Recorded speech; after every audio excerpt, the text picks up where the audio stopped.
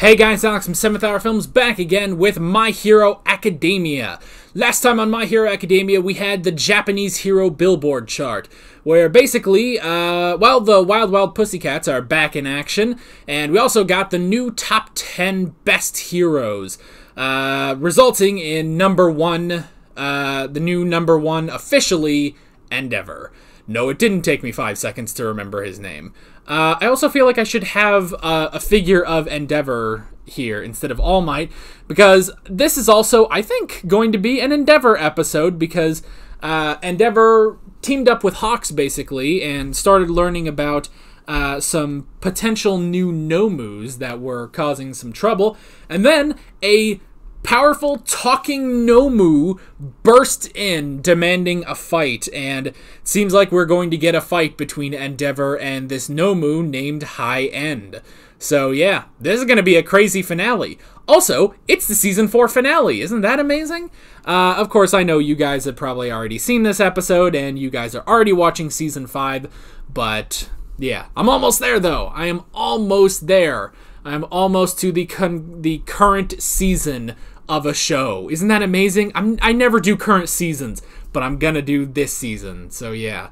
Um, but we still have one more episode of season four before we move on into that. So, like always, the reaction is down in the description and in the pinned comment for your viewing pleasure. Let's go ahead and get into the finale of the fourth season of My Hero Academia. Here we go.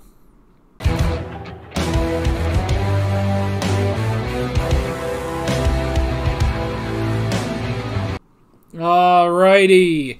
That is the end of season four. Oh my god. That was a crazy ass finale, man.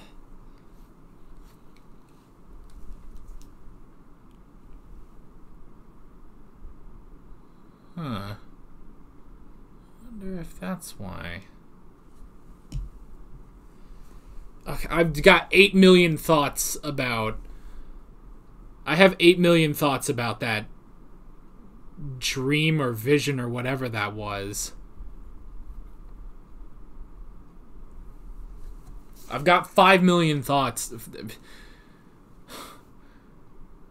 Fucking shit. Shit. We're going to load that back up. Definitely. We'll load that back up in a bit. Oh my god. That was a lot. That was a lot of shit right there. What an episode, man. What an episode. What a fight. What a cliffhanger.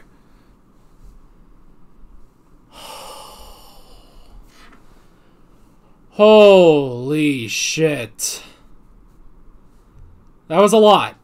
That was a lot. That is the absolute best finale we've had, I think. And, and it is interesting because, you know, in terms of our finales, like, you know, season one was just sort of the wrap up of the USJ. Season two was Shigaraki talking to Midoriya. Season three was Mirio versus Class 1A. And this time, it's Endeavor versus High End.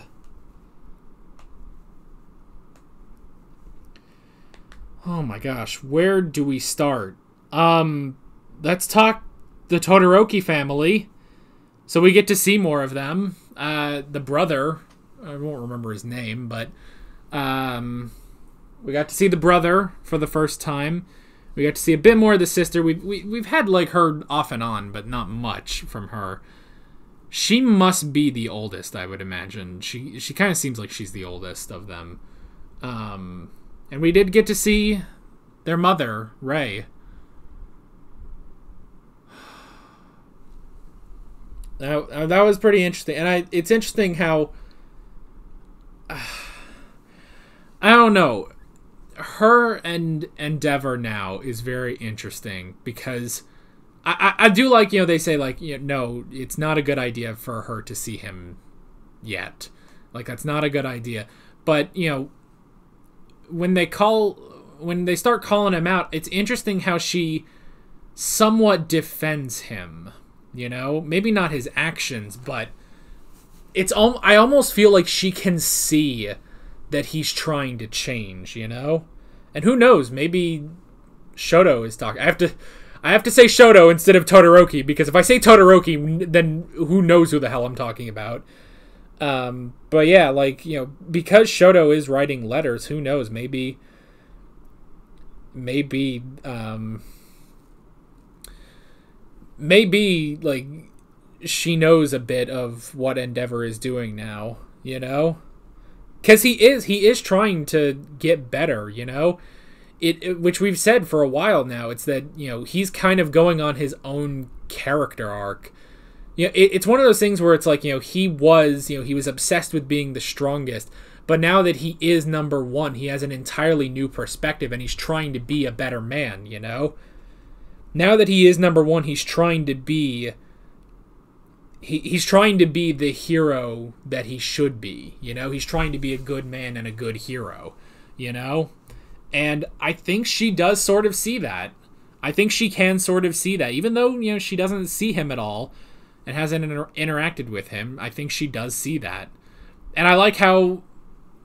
I, I like the thing with the flowers too. That it's like, oh well, yeah, here's, um, you know, the flowers that she said those were her favorite flowers, but she only said that once when they first met. But he remembers that and still gives her flowers, gives her those flowers because he remembers, you know? It's very interesting. The whole thing with um, the whole thing there is very interesting. Now, it's also interesting how they say, you know, uh, the brother. I gotta figure out his name because I remember Fuyumi. I remember her name. Let me see if uh, I guess I could just pull up a cast list, like the cast list at the end.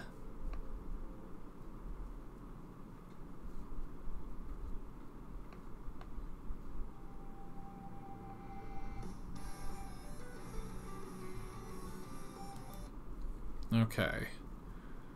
Natsuo. That was it. Okay. Um. So, Natsuo. It's interesting when he mentions that. Um, he mentions, you know, what he did to all of us, which is true because you almost. I mean, granted, I don't think I don't think they had the abuse basically. There's no other way to put that but abuse that Shoto and Rei suffered, you know? Shoto physical abuse in there definitely. And down to all the training he received at such a young age and um, and then Rei as well, physical and psychological abuse, definitely. So it, you almost don't think about it with the others that it's like, yeah, they.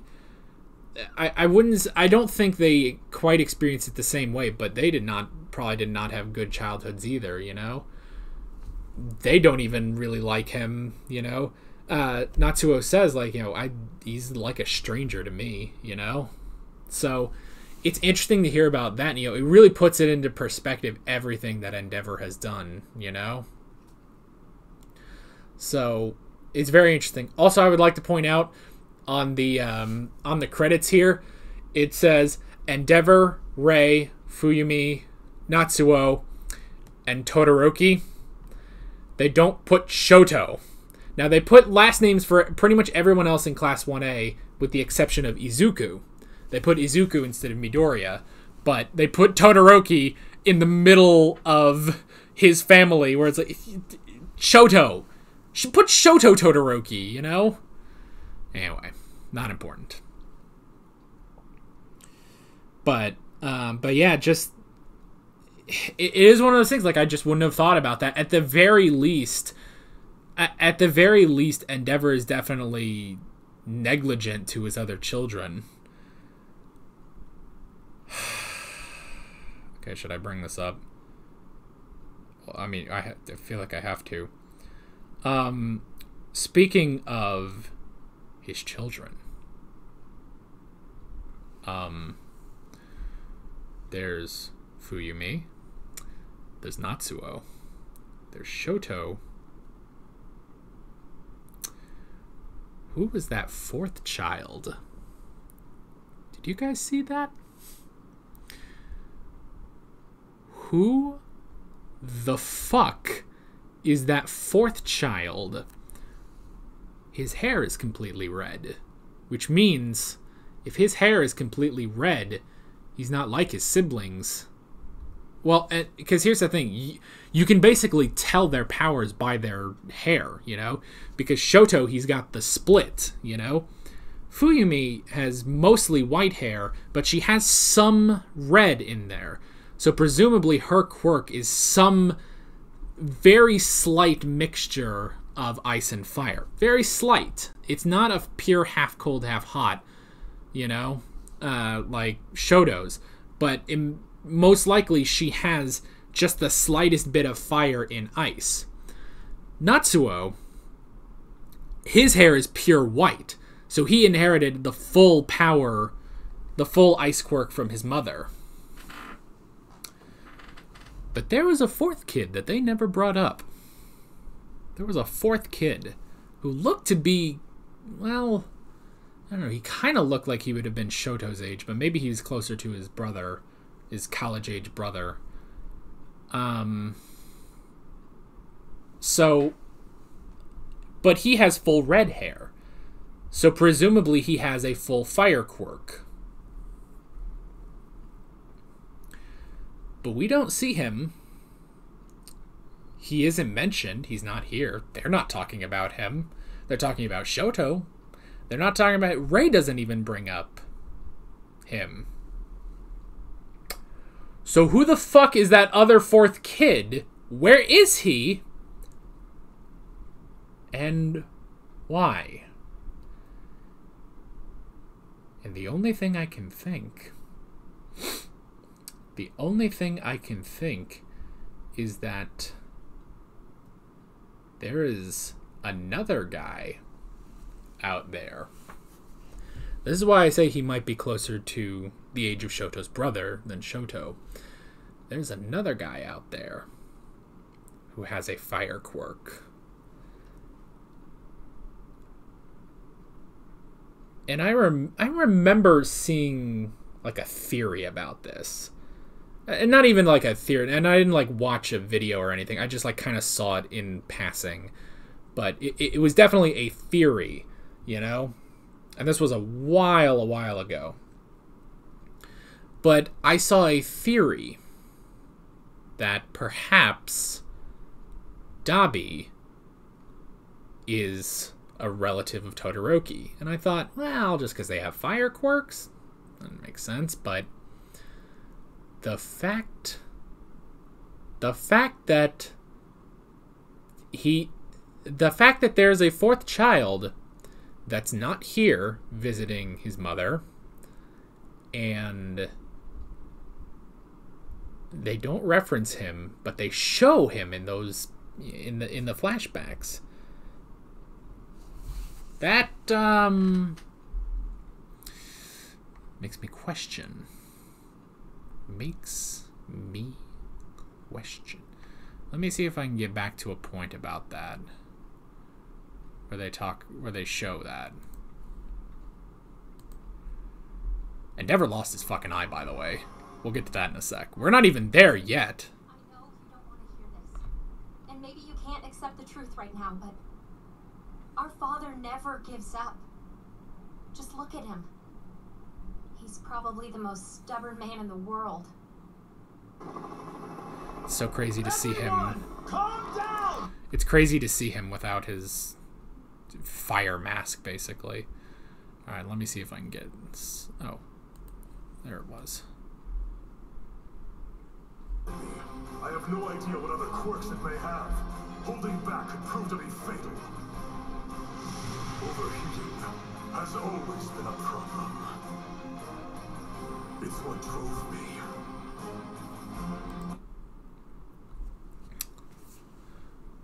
Okay, so... I mean, there's three right fucking there, and that ain't fucking Shoto. There's a kid there. with pure red hair. Now, I guess in fairness, Dabi's hair is black. He could have dyed his hair, I guess. Could have turned black. Who knows? Could he burn his hair? Well, no. No, that doesn't make sense because Endeavor doesn't. Endeavor and Shoto can't be burned by their own fire, so they have to be burned by other shit. Of course, what the fuck happened to Dabi's skin? So there's that too. There's a lot of questions. There's a lot of questions about Dabi anyway, but now let's just add five thousand more. But um, yeah, there's another kid. There's another kid, definitely. Another Todoroki sibling. And and they don't talk about him. So we're we're now this is it's all speculation. All speculation right now. We will have to wait and see, but it's pretty sus. We'll just leave it at that. It's pretty sus. But just that scene alone made the episode. Then the episode kept fucking going. Um, we had the possibility of interrogating uh, High End. Oh, that's kind of out the window, ain't it? But that's all right. I mean, it is. It's dangerous that this is a thinking Nomu, you know? Because what we've always seen of the Nomu is that they are the way they are because of how many quirks they have. So they are mindless beasts. They can't think for themselves, you know? And that was the even I'm pretty sure the word Nomu means brainless. So they that's what a Nomu is. High end was different though. So that's fucking scary. That there could be others like him and that powerful too. Makes you question if like let's say this was uh, high end versus All Might. Could he have done this, you know? I mean it took plus ultra prominence burn to destroy high end. I mean, I guess if you punch hard enough, maybe All Might could, but I don't know. My God, we have so much more to talk about. Okay, Flashfire Fist Hell Spider. That was awesome. Just completely obliterate a building. That was cool. Um, we got Hawk's quirk, which is Fierce Wings. So not only does he have wings, like, you know, Angel basically from X Men, but he can control them freely through the air, which is interesting. And then they have to all, like, go back to his body, which is pretty cool. So, um, so I like all of that. It shows it's an incredible power, and I love how he made them, he made his uh, feathers into swords as well um, and while he said, you know, he's not good against power types, you know, he can do his best. I like that. And honestly, you know, I really like seeing number one and number two out there kicking ass, you know? Like, the only thing this is missing is Best Jeanist, you know?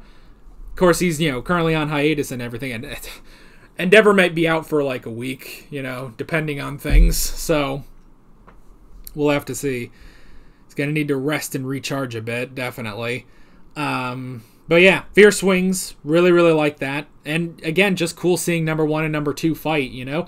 I mean, which we kind of also had a bit at Camino Ward when we had, when we saw All Might and Endeavor fighting, you know? So that was all great. High End can spawn Nomu. The hell? Now, could he spawn Nomu, or did he speci- did he have a warping quirk to bring more to him? That I guess that's sort of debatable, but Either way, he can summon Nomu and he's smart enough to do so. That's terrifying. Like, it really is like this beast without All Might, you know, All Might, you know, whether or not he could beat High End, it's not really questionable. You could probably, it's probably safe to assume that he could, but of everyone we have right now, Endeavor is the only person who would be able to completely obliterate high end. Like this thing is scary, you know. Um, we also got uh, the details on the Flashfire Fist uh, technique, I guess, that Endeavor uses. That he basically supercharges his heat to be, you know, super hot, basically, and then he launches an attack. The problem is, if he uses that too much, that will, you know, that will start his overheating. So, and that's the thing. He's always had that problem of overheating. That's why that's why he had four kids and the fourth one has half cold, half hot because Shoto Todoroki has a balancer between ice and fire. If he gets too hot, he has the cooler. If he gets too cold, he has the fire, you know? He is the perfect combination, you know? Um so yeah, so that's all very interesting. Um, let's see. Oh, I love when Hawks says, you know, um, that he could see everyone wanted to cross the gap and get to where All Might was, but Endeavor was the only one to try. You know, like I like how they say that. You know, and they show him building, and it's a tiny ass bridge, and it's like this shit is not gonna work. But I love that the imagery of that of Endeavor is the only one to try to cross that damn gap. Even if he didn't do it, he's the he's the only one to try, and Hawks admires him for that. You know, like that is so cool. I really like that. And then, uh, and Endeavor Endeavor lost his eye. He lost his eye. That's insane. He lost his eye during one of those attacks, which is just crazy ridiculous. You know.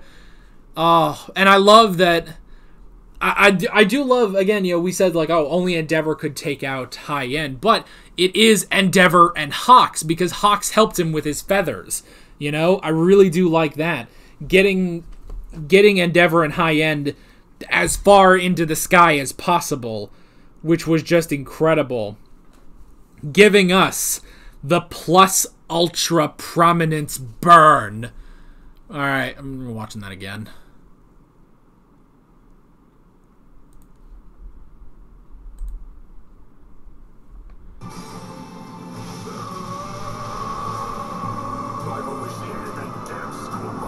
Oh,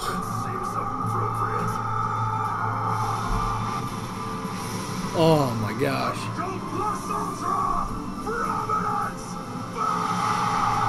Oh.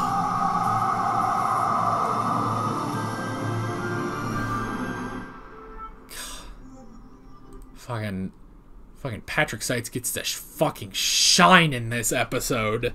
Holy crap! I fu- I love Patrick Seitz and I love his voice. It's one of the greatest voices ever, and and, and a lot of there's a lot of great voice actors with a lot of great voices, you know.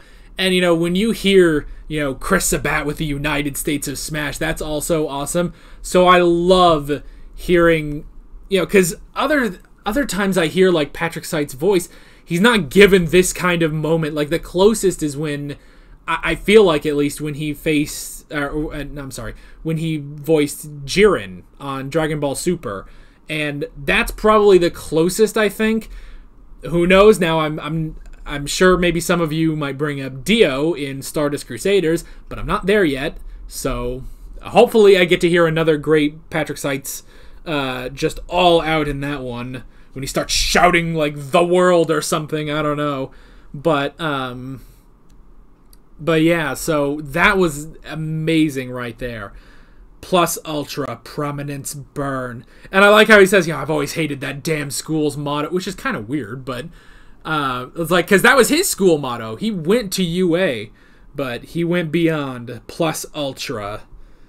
Oh, and and again, I love like from the start. It's like, oh, the animation's up. Like, yep, this is a big fight. This is a really big fight today. So I love all of that.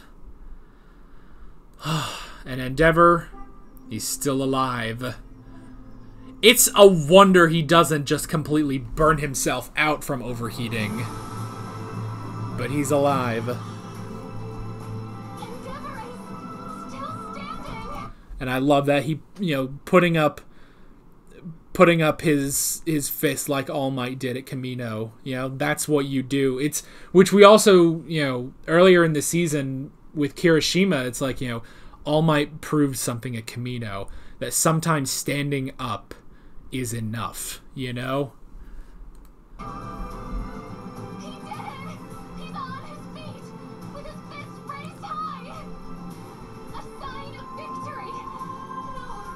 Oh. Symbol of a new beginning.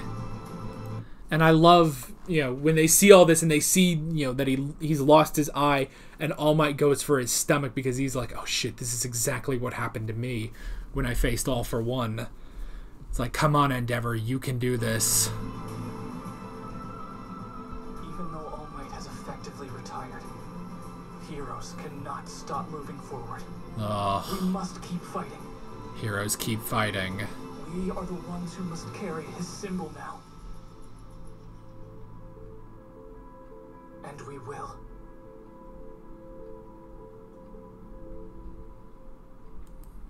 carry the symbol of the new beginning.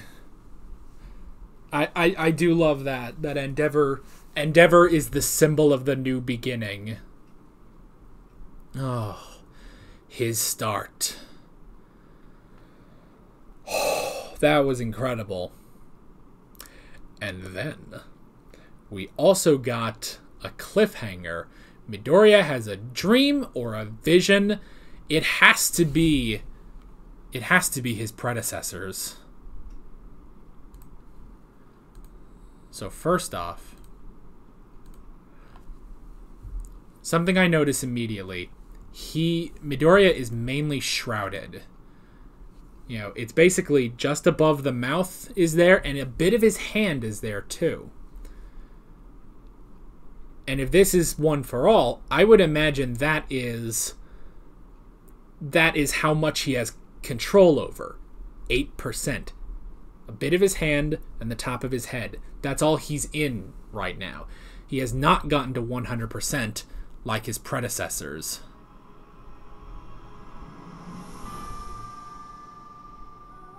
But there they are.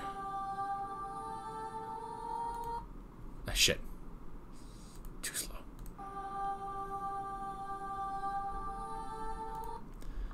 There they are. There are his predecessors. Not All Might. Not All Might, but perhaps that's because All Might is still alive. But there are his predecessors. Nana Shimura, some dude with goggles, some guy that looks like Best Jeanist, a guy with a scar, some sort of Super Saiyan looking dude, and we can't really see past that guy. Man, look at them. No. Seems like Shimura is the only woman here. Huh. But that's all of them. And that so if it is in sequential order, that's Shimura's master. The one who passed it to her. I wasn't expecting that, you know? I mean, it's kind of interesting looking at them all because it's like, I would not have expected any of them, you know?